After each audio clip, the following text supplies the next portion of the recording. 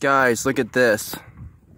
There's a fire burning up there. You see that out there in Eglin. I was to paddle across the bay, the bay, but my truck is parked up there at the road, so I better go up there just in case they have to uh, evacuate the area because it looks like that fire is getting out of control. You see the smoke? There's smoke going up. If you look straight, you'll see how it's billowing up into the air, billowing. Look at that smoke, guys. There's a fire up there. Yeah, I just figure I would let you guys know. Uh, Highway 20, um, Highway 20 in between Niceville and uh, in between Niceville and um, gosh, what's the name of that town?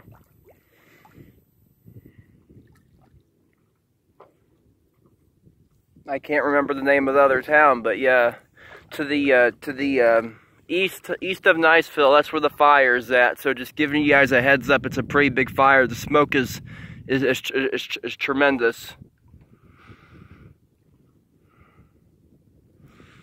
Yeah, basically in between Niceville and 331. It's about smack dab in the middle.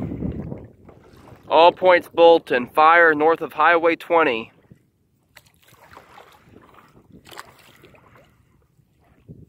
Okay, guys, I figure I'll just let you guys know. I will talk to you later.